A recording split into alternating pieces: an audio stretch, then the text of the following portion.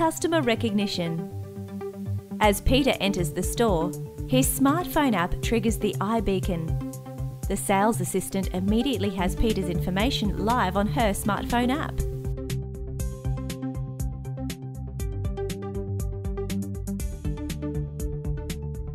Digital wallet and self checkout. A digital wallet gives Peter the convenience of having all of his payment options centralised in one place, from where he can purchase online or in store with the click of a button. Peter doesn't have time to wait in line to pay, so he uses his digital wallet to scan the product tags and check out.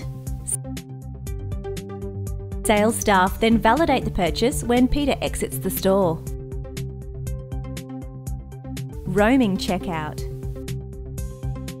Having used his smartphone to scan his product tags, Peter chooses a deliver option and a staff member can take his payment in app from anywhere in the store.